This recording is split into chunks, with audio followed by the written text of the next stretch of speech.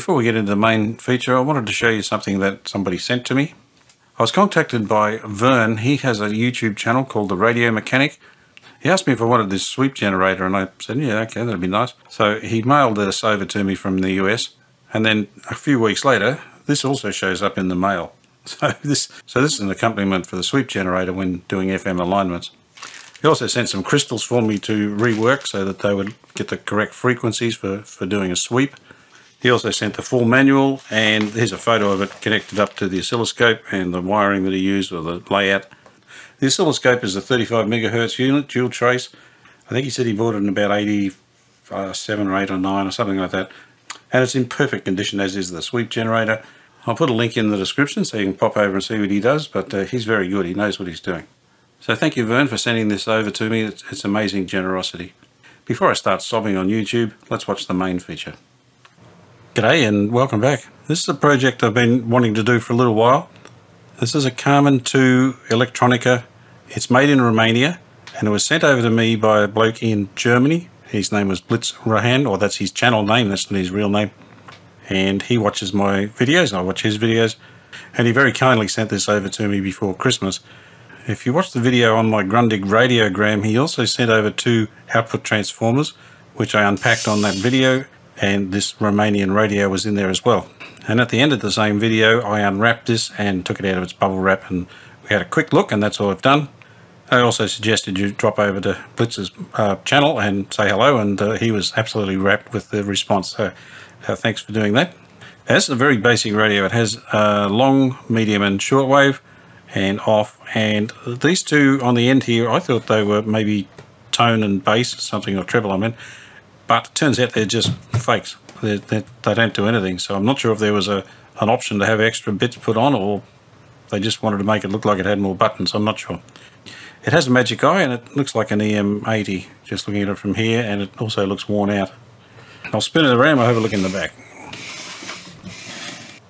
Here's the back and it's as simple as the front. There's a little cover there for the voltage selector, antenna. It seems to be in Romanian, I assume that's Romanian. I'll see if I can translate the text there using my phone. I saw Shango do this the other day, it worked pretty well. So, so there it is there, it says attention, remove the plug from the socket before walking inside the appliance. So that's good advice, okay. Now see if I can read the other one as well. This one here says, attention, strictly forbidden from binding between device and socket. So I guess that means don't ground it. Anyway, that was a good idea from uh, Shango to do that. I'll take the back off and I know Blitz put things in there for me. He's also got the knobs. I forgot to mention that. He put the knobs in there for safekeeping while it was transported.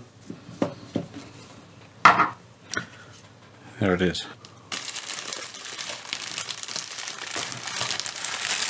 There are valves and more valves. Oh, there's the knobs.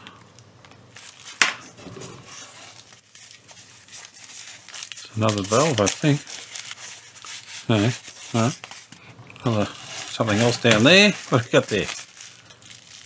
ECLL 800. Ah, good. They go in my uh, Grundig amplifier. This is it inside. It looks good. It's got a lot of dust on it, but I can't see any rust.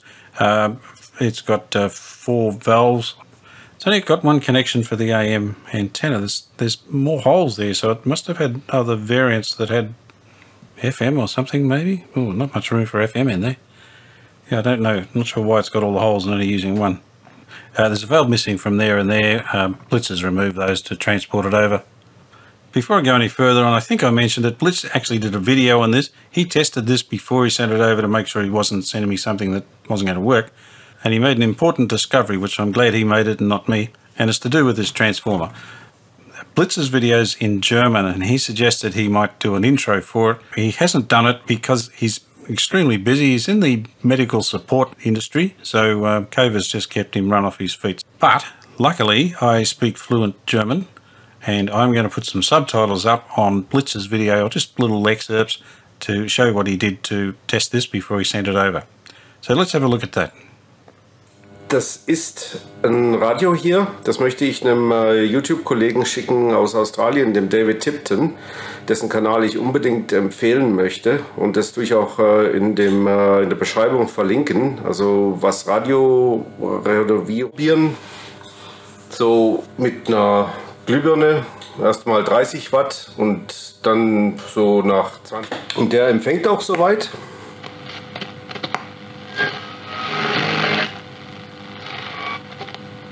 Birne, ob er das äh, gepackt hatte. Und habe ich einen Jesusmäßigen gebatscht kriegt. Was ist denn da los? Das Ding hat einen Autotransformator oder einen Spartrafo genannt. Auf Masse. Seht ihr die Verbindung? Masse, Masse. Und es gibt keine richtige Sekundär. That was it. That was Blitz's experience with this. Uh, he quickly found out this was an auto transformer when he touched the chassis. Having watched that again, I perhaps not as fluent in German as I thought. Thanks, uh, Blitz. I really appreciate him uh, checking this out for me and uh, doing a little video and taking the hit from the hot chassis. I'll remove it from the case. We'll have a closer look and see what needs to be done. No need to remove it from the case. It actually has a little um, service panel on the bottom. It's actually quite modern looking, isn't it? It's um, got some disc capacitors there, and there's a paper one. These are paper done in a um, in a plastic uh, container, so I can only uh, see those ones. There's one hiding over there. Uh, this doesn't look so good. Yeah, this wire here has been getting very warm. It's got the insulation completely removed there, so something's overheating that. So sorry, a bit of a detour there. Let me take this out of the case. All right, I've got it all out. It wasn't as easy as I'd hoped. Um, I had to take this front baffle off as well because the wires aren't long enough to get the chassis out while the speaker's still attached. Now that's got to be the second biggest magnet I've ever seen. That speaker is only 100 by maybe 120. I can't quite see it. Um, so that's what, 4 inches by maybe 6 inches, 5 inches. I found this little coil in the bottom of the case and uh, it's got an adjuster on the end, so it's got a slug in it. Yeah. So I'll have to find out where that came from. I don't know where that was. Here's all the coils here mounted on that little white plastic plate, but I think they're all there. There's a couple of spare holes, but I don't think that's for that coil. There's a hole here that's got some adhesive on it. I reckon it's out of there. I think it's something to do with the antenna. Before I do anything, I'm going to take this outside, brush all the dust off it, and hopefully I'll be able to see what I'm doing. I took this outside and blew out all the dust, and uh, I used a brush around this area here to clean it up. This area here, I blew it out with a very, very low pressure air and just kind of went through with a little brush to loosen the, uh, the dust. But there's so many fine wires in there, I wasn't going to do too much. The piano keys are in pretty poor condition. They probably clean up, but they need to be polished. Uh, one or two of them have some sort of either nail polish or some sort of chemical burn on them. So they'll need to be wet and dried back to plastic and then polished again. Um, I can pull them off this shaft now so I can do them individually that'll make it much easier. I removed the speaker from the baffle and you can see the original colour of the fabric there. This has got um, cigarette smoke through it so it smells a little bit, it's not too bad. But I think I can peel it off, perhaps soak it in a in some soapy water and and try and get it back to something like that. I'll probably never get back to that. I think it'll peel off all right. I could probably seal these edges with some lacquer or something. These are the valves that are missing from here and here. Uh, this is the output valve, so it's an ECL 82, and this will be a EZ 80, I would think. That's a 6V4. Uh, yeah, EZ 80. So I'll put those back in later. Uh, there's a wire floating around. I think it's off here. This is the output of the output transformer, so it'll be a negative feedback, I would think. I'm still struggling with the size of the magnet on this speaker. It's only a 4 by 5 inch speaker and the, the magnet's got to be 4 inches. So I don't know why I don't know why it's so big. This is the EM80 Magic Eye and I said it looked a bit dull but it actually looks brand new in there. I think Blitz mentioned this in the video and I think he might have said it was low hour so he's probably right there. This wire here with the melted insulation is the return from the transformer so everything goes through this wire so there's obviously a high current draw item in here somewhere, probably a capacitor. But I'll, just pull out the schematic and have a quick look through that. I have a number of circuit diagrams. This one's not particularly clear, uh, but it does have the EZ80 as the rectifier. So this is what mine is. But I do have this drawing here, which is much clearer. Uh, the only thing is they've taken out the EZ80 and put in a 1N4007 diode and a little dropping resistor. So for the purpose of the explanation, I'll use this diagram. The red wire that was disconnected is probably one of these, well it is one of these. It's either going to ground or it goes back here to the bottom of the uh, cathode. So that'll give a bit of negative feedback. The coil that I found at the bottom of the case was this one here, and it's an IF drain, so any 455 that's coming in through the antenna gets drained off and doesn't go through the radio because it's at the same frequency as your IF. So I may just leave that disconnected. It's not needed anymore and it can start to encroach on the reception area. So some of the stations down the bottom of the radio might get slightly attenuated. Here's the power supply section of the radio and as Blitz pointed out there's the ground there and a ground there. This ground is connected to the mains so uh, depending which way you put it you could put the active on here, uh, the auto transformer here and that goes straight to ground as well. The auto transformer's only got one winding on it and it goes all the way across and there's little tappings off here. And you can pull out various voltages as you go along this winding. And they're pretty much the same as a, a normal transformer. It works much the same. Uh, it just has the primary and secondary all incorporated into one coil, but they're still laid on top of each other. Now the advantage is that these are cheap to make, one coil, so a lot smaller, a lot lighter, less copper used, and you can take the power off here this is the 220 volt one, so it's got a little coil there. Uh, if you want to switch down to the 110, you'll actually have two cores there and you can almost double the voltage. So you'll bring it up to whatever this is here. This is probably about 200 volts. I haven't got any voltages on here, uh, but it's probably about 200 volts.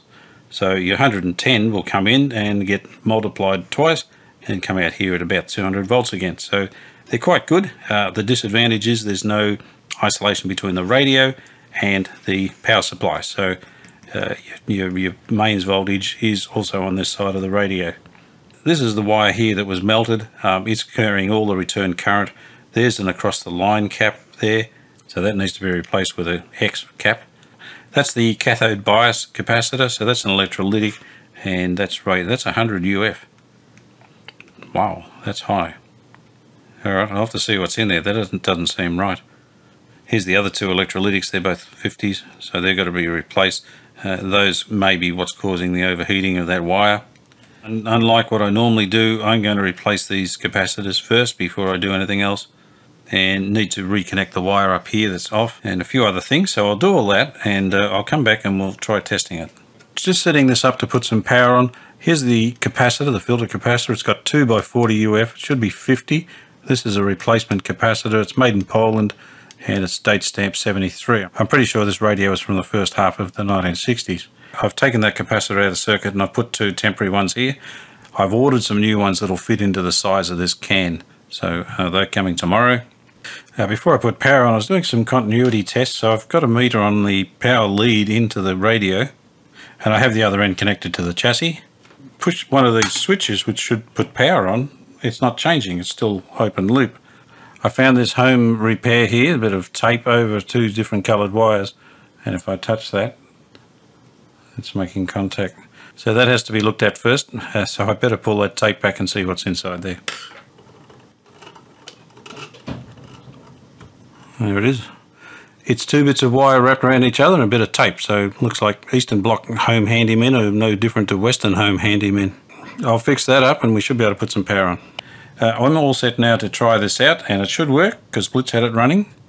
I'm pretty sure that Blitz didn't have an isolation transformer um, so I've got one in here and it will protect me so I shouldn't get a shock. I've got that on 220 roughly. I've got it on DIN So I'll put some power on. I have the medium wave selector switch pushed in and there's an antenna on so it should all work. It's warmed up. Uh, the magic eye is there. Can't see anything in there either. It is on. oh, there's something there. Ooh, doesn't sound right.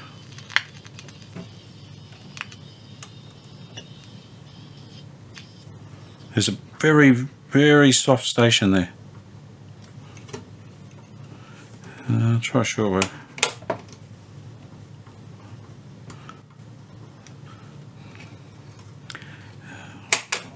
I'll put it on long wave, really no value. I'll put it back on medium wave. Alright. So there's there's nothing. You know, there's there's some crackling there, so the amplifier part's working, but nothing else. So uh, how about that?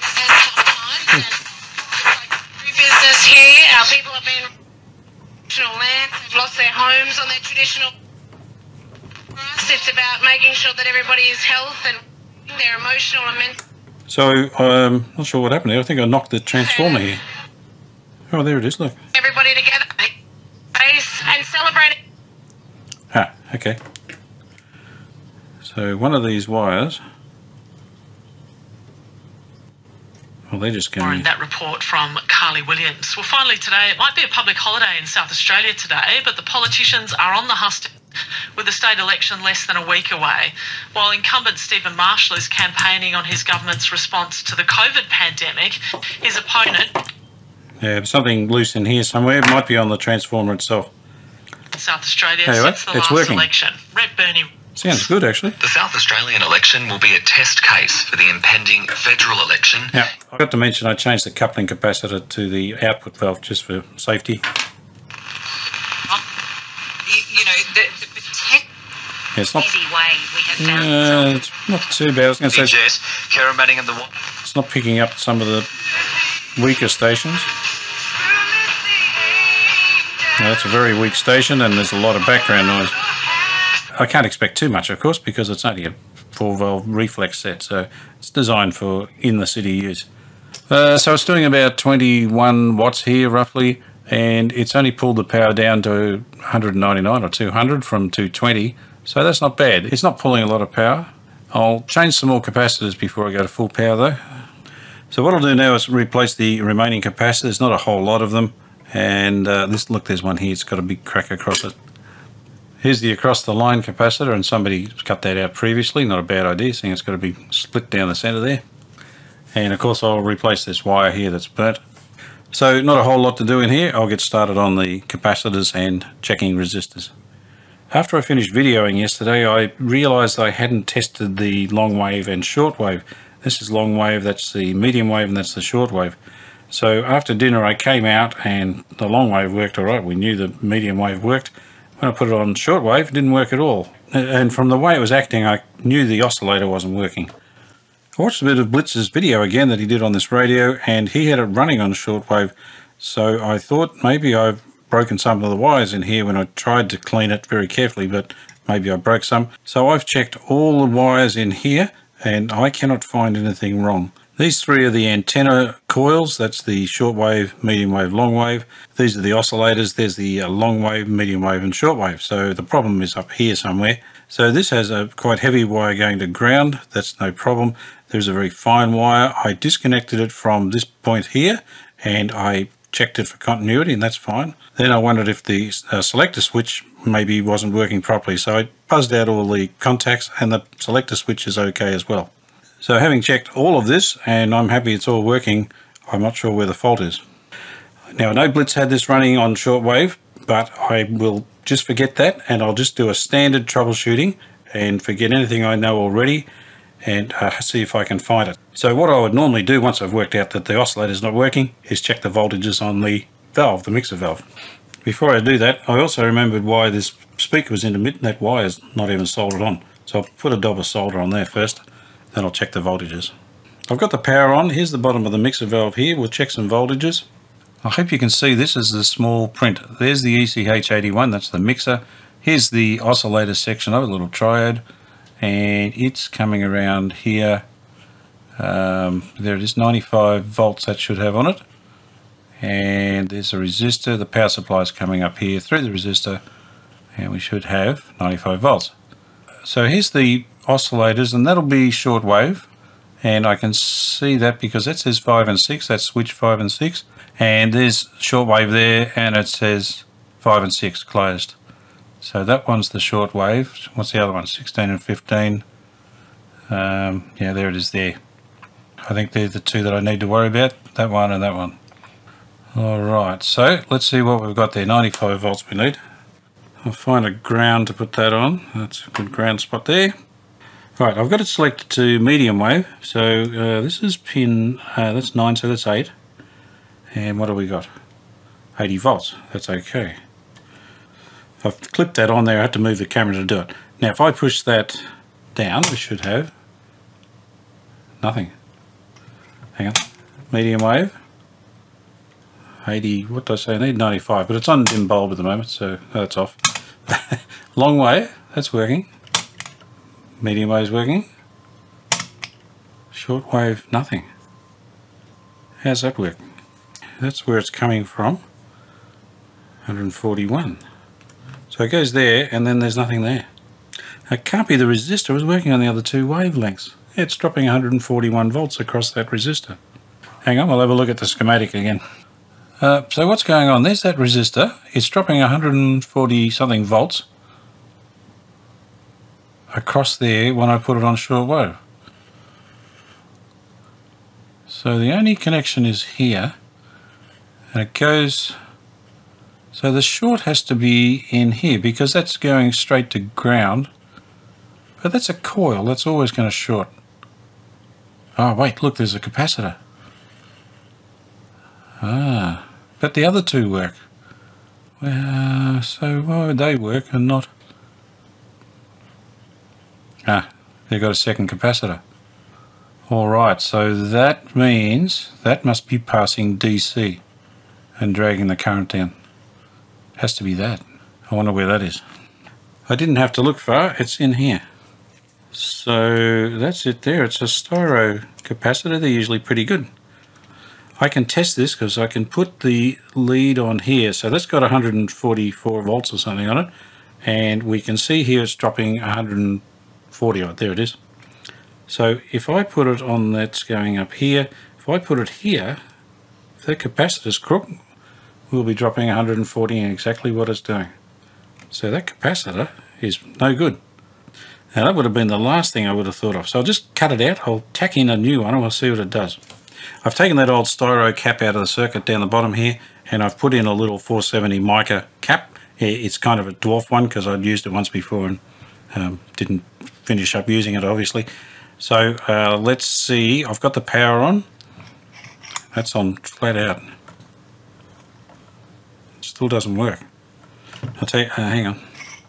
I'll take that off there because that'll be affecting the oscillator. Oh, there it goes.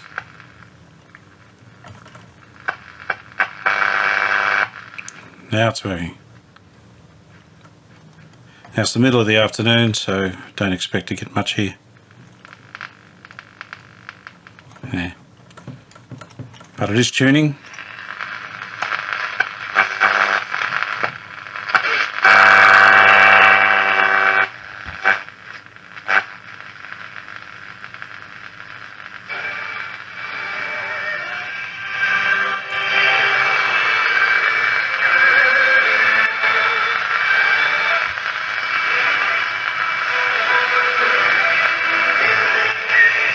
Sounds like China or somewhere. Uh, we get a, quite a bit of the Chinese stuff coming down, right? Or stuff from Asia at least. I'm not sure if it's Chinese or what it is. Um, so yeah, good. Okay, that's a good fix. I will put a new capacitor in. I'm getting new stock in in the next few days, so I'll put a new one in. All right, I'll go back to my original plan, which was to start changing the capacitors. I've got the electrolytic capacitor in the chuck here. Uh, now it only grabs the end there, so this is very dangerous. I'm going to try and machine that end off there so I can pull the innards out. Now most people sensibly just peel it back with a screwdriver and then kind of clean it up a bit and then crinkle it back again later on and you really can't notice it. I do have the lathe so I'm going to try and just machine that off neatly and that'll give me a nice neat finish.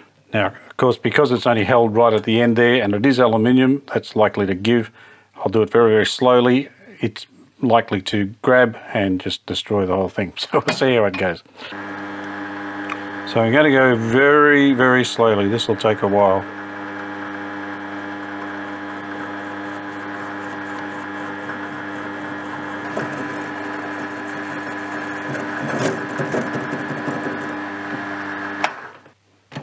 Okay, uh, that started to move, so this isn't going to work. I'll be able to pull that out. I hope I haven't dented it.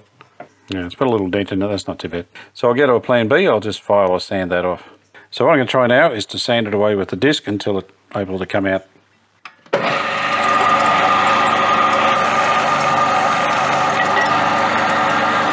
Got pretty close to the edge there, that should just come out. There it goes. It's got some sort of rubber seal in there, I'll have to try and get through that. I think that rubber seal goes all the way down, so I'll just cut it with a knife. Oh, there it goes. Oh, that was easy. I've drilled a hole in the centre there, it's probably 7 sixteenths or something. I'm just trying to get my long nose pliers in there. If I can grab it, it'll turn. There it is. So that's come up pretty clean. So I'll finish cleaning that up, dispose of all this, go and have a good wash, and uh, I can restuff it. I've made up a little capacitor pack to fit inside the tube. I drilled some holes through the plastic cap here to pick up the, the solder tabs. Um, now this one's ground, so it's on its own. I haven't not sure what I'm going to do with that. Before I put it into this can, I want to make sure there's absolutely no chance of it shorting. So I'm going to put a bit extra bit of um, heat shrink around it. And that'll give it a double layer of heat shrink against the outside of the can there. Alright, that's all done, and I will just put a little nick in there so that if that capacitor ever lets go, it can have somewhere to vent. So that'll do. And the can can go on top. And I'll just solder these onto the tabs and go and round this off. I'm trying to think of a good way to roll this in and I can't think of one. It needs to be rotated and a bearing run around there to, to push it in. But I'm going to try doing this. I don't know if it's going to work.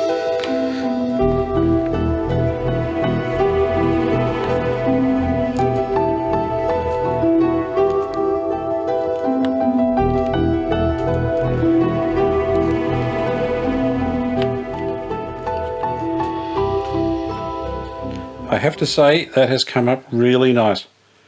Really nice. So, yeah, you can do it.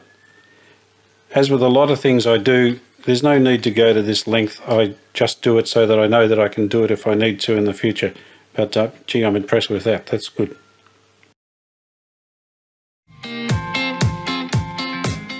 I've changed most of the capacitors. There's still one to do and that's this one here on the output transformer. I'll do that when I redo the wiring here. I have put this little coil back in, I've glued it back in, but it's not connected, I won't connect it, it's not needed anymore. I have a new across the line filter there, that's an X-rated cap if you want to call it that. I replaced the burnt out wire, and here's the casualty list. So uh, not a whole lot in here, as I said there's one more to do. This capacitor's got 1963 on it, I saw something else that was September 63. So it was built um, after 1963, I guess, or September 63. One of the gentlemen that sent me a schematic for this told me that the resistors will be no good. They're, they're rubbish. This is the only one I changed, and it's only because it fell apart. I do need to put the electrolytic in, but before I do that, I want to have a look at this tuning capacitor. Um, you can see here that it's angled that way, and it's also pointing down that way. And I noticed when I first unwrapped the radio that this uh, shaft, the tuning shaft, was against the dial glass on this side. There's three screws holding it in. All I need to do is undo those three screws and probably just replace the rubbers there. The screw goes into the capacitor, so it's just a matter of unscrewing it.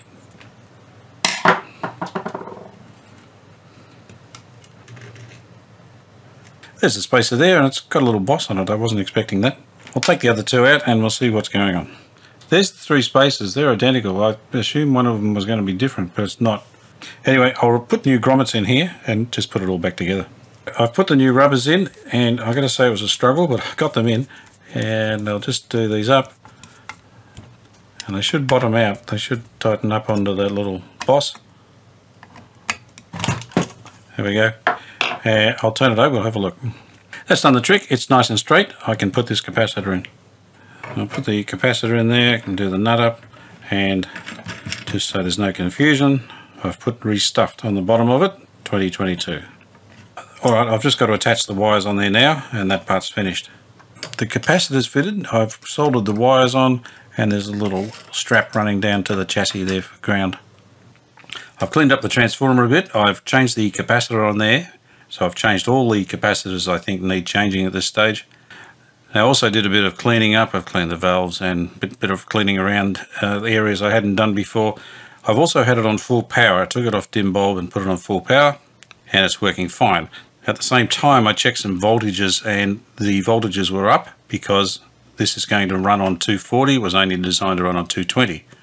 Uh, what I found was running it at the 240 volts, uh, the filament voltage was up to about uh, 6.7. So I've just popped a little 100 uh, ohm resistor in the line into the radio just to pull it down a little bit. It won't make a whole lot of difference, but it should pull the filament voltage down a bit. Now, Australia's official voltage is 230, like the Europeans, um, but ours is consistently 240. Uh, if you look at the voltmeter there, yeah, 243. So that's pretty typical, particularly this time of the day. The solar panels are all running, so it'll get higher than normal. I'll put some power on. I've got it pretty close to 240 volts there. So I'll power the setup. I've let this warm up for about a minute. I can check the voltage of the filaments on this globe here, 6.3. So that's exactly what it should be. So I'm using the 240 volts as a nominal number. It'll go higher than that during the day. It'll go lower than that in peak hours. So um, it'll run around the 6.3, which is what I want. Uh, something else I did last night was with this tuning capacitor. The quadrant here that I'm pointing to is made up of two plates and it has a spring between the two plates to take up any lash uh, in the gears. So when you turn the pinion, it's very instantaneous. There's no uh, hysteresis.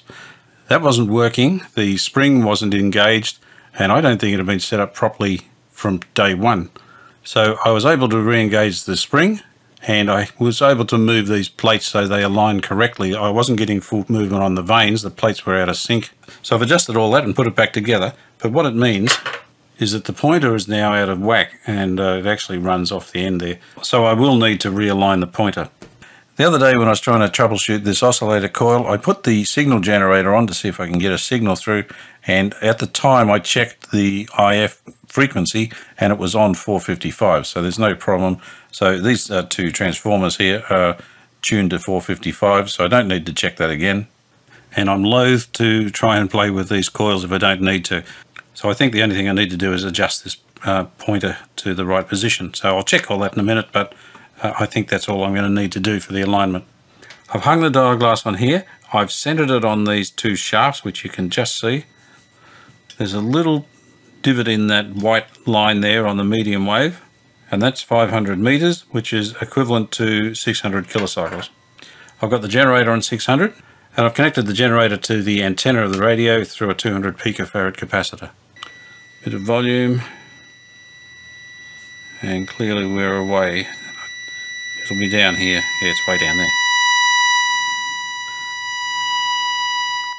So I need to move that along around about 12 millimeters, half an inch. To make it easier, I've put pencil marks here. This one here is where it's tuned to currently, and this is where it needs to be. That's 600. I've loosened the uh, string off here. Should be able to pull this along. Alright, I'll reconnect it.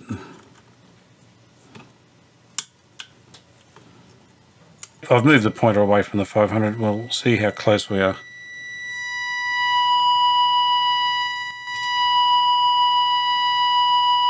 I think that's good enough. I've moved up to the other end of the scale. There's the white dot there. That's under 200, which is equal roughly to 1500. I've put the generator on 1500. I'll just approach it. We'll see where we are. It's coming up. Right in the middle. So I'm confident the alignment's fine. I'm not going to worry about anything else. Let's just leave it as it is. All right, I'll move on to the next bit. I'm going to have a go at cleaning up these piano keys. Once these are cleaned up, the chassis will be finished. I've got a bit of brasso here. We'll see if it does anything. I think they'll clean up. They do have some, looks like chemical marks on them, like that. Yeah, they're cleaning up all right. It looks like that mark in the centre's pretty much come off. It's pretty good. Now, you might be able to see it. Some of them have got little marks on them. It looks like nail polish or something. So I'll see if that'll come off. I might have to use a bit of wet and dry to clean those up, but um, they should be alright. Alright, I'll keep going and come back when I've finished. These have come up surprisingly well. I ended up scrubbing them in a trough with some gumption. That's an abrasive paste and that took off most of it. The little marks on it, look you can't really see them. Now I also used some 1500 wet and dry to take off some of the other marks. I can see there's one there still. I'll go back and do that.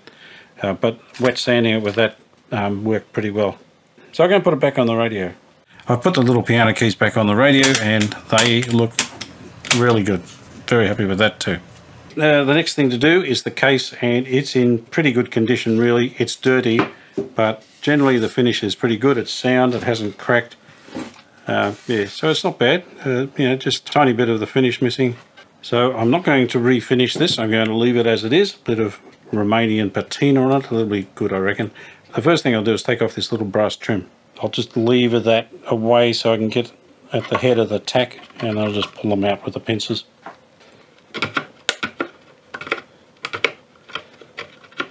And, and that one. Alright, that should be it. I'll polish that up and give it a coat of clear lacquer.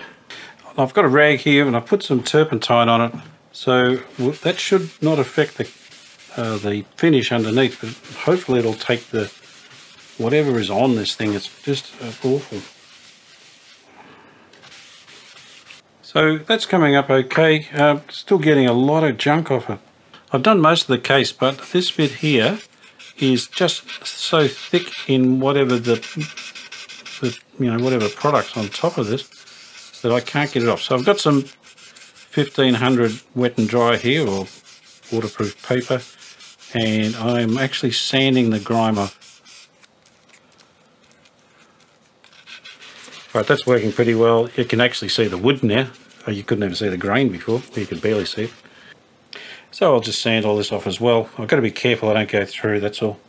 I'm using a bit of the 1500 on the top uh, this is the second time I've done this. I've done it before and wiped it off and the black that came off it was amazing.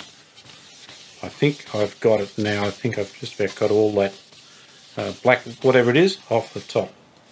So that's come up really smooth. It's got rid of any little lumps that were on there. There was bits of something sitting on there. And of course there was the paint spots on it. So they're all gone now. So I'll do the sides. I've done the front. Uh, I'll clean it all up and then I'll put a finish on it. I've cleaned everything up. I've washed it with wax and grease remover. That's all I'm going to do with this. And I'm going to finish it with some Carnauba polish. And uh, this will give it a rock hard uh, finish and a bit of a shine. But it'll maintain the patina the radio has. And this also contains some beeswax. So all I have to do is polish it on and let it uh, dry. And about 30 minutes later you give it a buff. And you just repeat two or three times to get a really good finish on it. And I've got too much wax on here. And the shot with uh, Carnauba wax is to, to put it on pretty vigorously and it will melt. Particularly when you're trying to polish it off, you need to really get a bit of speed up.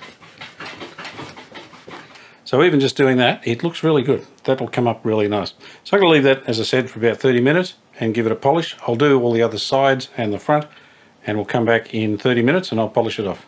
Now this has been drying for about half an hour, so I'm going to start polishing. And as I said, you really have to get stuck into it and that will melt the wax again and make it shine.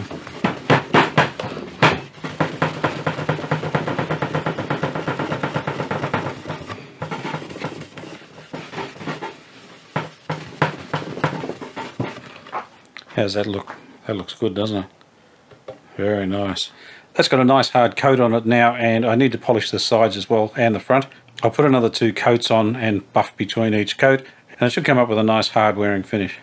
I'm ready to put this back in the case now, but before I do it, something I should have shown you before when I was doing the oscillator. To check if the oscillator was working, um, I have this little coil, and I don't know what I made it up for. It's about one mil wire. You can use whatever you like, uh, and you probably use any coil you like. I made this for a specific reason. I uh, can't think what it was, but this works all right, and I'll show you what I can do with it. There's the oscillator coils on the back there, if you recall, and I've connected the little coil onto my oscilloscope.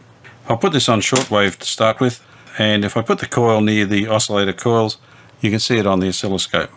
And if I change to medium wave the frequency drops. If I go to long wave it drops again. So that's showing that the three oscillators are working. So I didn't have to break into the circuit. Didn't have to measure voltages. I could just see it straight away. Now that's if you don't have an oscilloscope of course you can use other methods to check the oscillator. A portable radio AM radio tune the IF above the whatever this radio is set to and you should get some interference. You can measure the voltage drop across the little resistor in the oscillator. Just Google it. There's plenty of ways of doing it. I have the oscilloscope so I use that and it took only seconds to do it. don't use my coil as a template or anything. I mean, it worked, but it was made for some other reason. Um, there are sniffers you can make up yourself if you like circuits. I think Paul Carlson's got one on his website, so if you want to make a proper sniffer, that's good, but this worked in my case. All right, I'm going to put this back in the case. I've set everything up, ready to put this back together. Uh, I've put the glass back on here, I've cleaned it up, and it looks fantastic. That cleaned up really nicely. That was black before. I have the case at the back and that looks great too. It's The finish on it now is brilliant. So all that's left to do is reassemble it. The only way I can see to get this in here is to drop the whole thing in vertically with the uh, speaker and the chassis at once.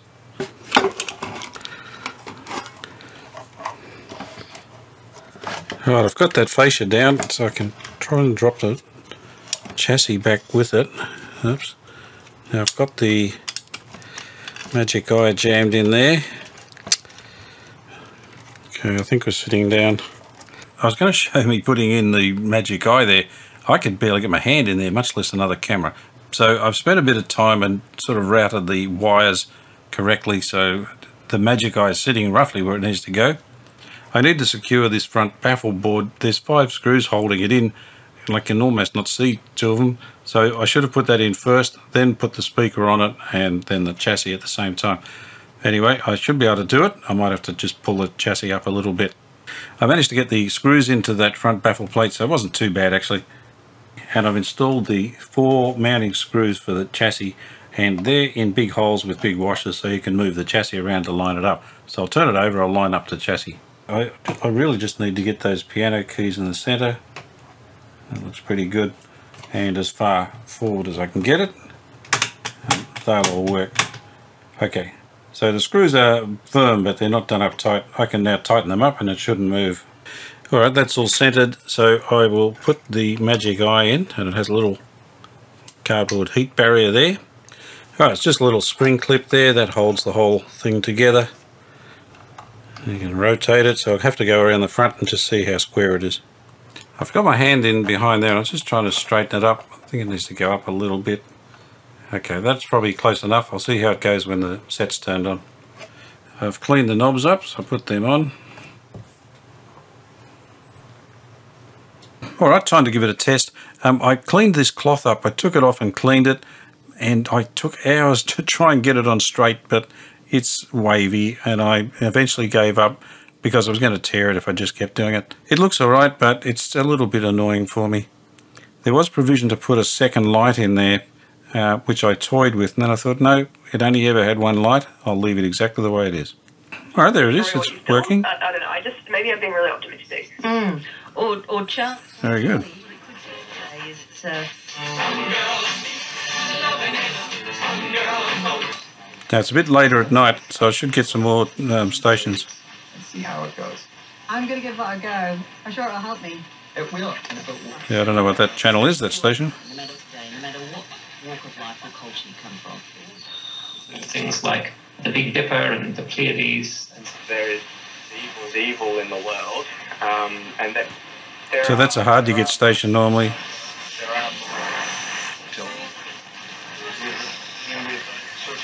In these Arctic waters, we have fishery protection. Yeah, I don't know what that is either.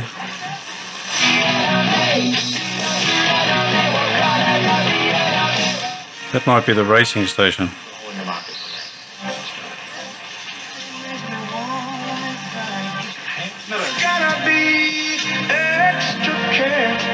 Yeah, that station's that station's very hard to get. That's coming through clear. Now these will be regional stations I'm picking up here. Capability the years of production.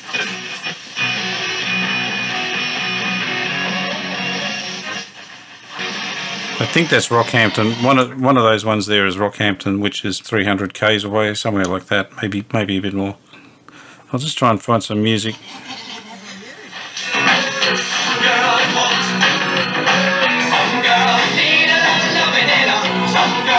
Yeah, it's not a fantastic sound.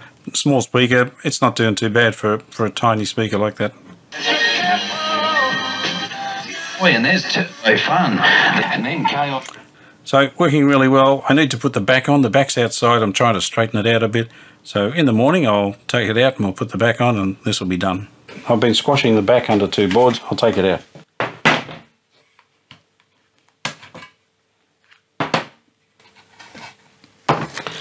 There it is. I put some Glad wrap on both sides of it and I put a bit of water on, I sprayed some water on it. So that's come up nice. That's good. I have the back ready to put on. I've already fitted the base. It's off an old television or something. It's not the original base. So anyway, it's on there. One last check inside. All the valves are sitting down. Yeah, it looks good. So I'll put the back on here. Have some nice brass uh, screws to put in the back here. Now, as I recall, and I haven't checked this, I should have, um, I think Pol, uh, not Poland, I think Romania was um, under the control of Ceausescu, if I'm pronouncing that wrong, of course, but uh, he was the Communist Party leader, and I think from the 50s, late 50s, probably up until the fall of communism. I don't think they were ever in the USSR. I think they were a communist country, but they weren't part of the USSR. Anyway, I'm sure someone will tell me. But I remember Ceausescu was in the news quite a lot, and I can't remember whether he was good or bad or indifferent. That's on, it looks good, it's nice and flat now. This panel I redid with Retrobrite. It didn't quite clean it all up, but you know, it looks much better than it was. Now, an odd thing was this antenna hole didn't line up with the antenna socket. So I've punched that out again and uh, to get a hole in there. So, so I don't know how it went through life for the last 60 odd years with uh, not lining up with the antenna. There's no internal antenna. Anyway, that's the last piece to go on the Carmen 2. It's finished. It's all finished and I'm delighted with it. It's a Carmen 2. It's made by Electronica in Romania, probably about 63, probably the end of 63. But it complies with the European radios of the time, Magic Eye, piano keys, wooden case and it's come up really nice. It's, it looks very, very good.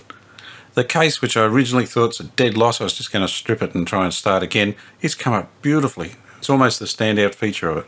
I was watching one of Manuel Caldeira's videos this morning, and he needed some parts, and his subscribers sent them to him. And he said this YouTube hobby of radio repair and restore is a community. It's not just YouTube and people putting content on. So there's a little bit of camaraderie there, and uh, people have helped me and sent me stuff like Vern and Blitz. Uh, another gentleman contacted me during the week and said, I've got a box of valves if you want them. So he sent them over from Europe, and those were those side contact P-base uh, Philips valves. So very hard to get. So he said, I'm not using them. He sent them over. So in my retirement, I've found a whole new hobby and a whole new load of friends too. So this has been really good. As I said before, Blitz put an awful lot of effort into getting a radio to send to me, not to mention the expense. So, um, yeah, this is going to take a special place in my collection. So thank you very much to Blitz and Vern and uh, Manuel and people that have sent me valves and other things. So generous. So I hope you enjoyed watching this little Romanian beauty come to life and I hope you can join me next time for my next radio adventure.